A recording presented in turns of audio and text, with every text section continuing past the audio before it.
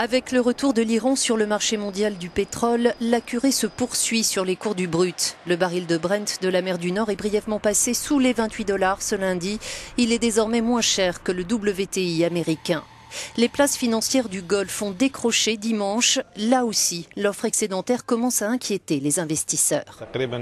On n'avait pas vu des prix du pétrole aussi bas depuis 15 ans, explique cet analyste. Les budgets des États du Golfe ont été élaborés sur la base d'un baril à 70 dollars.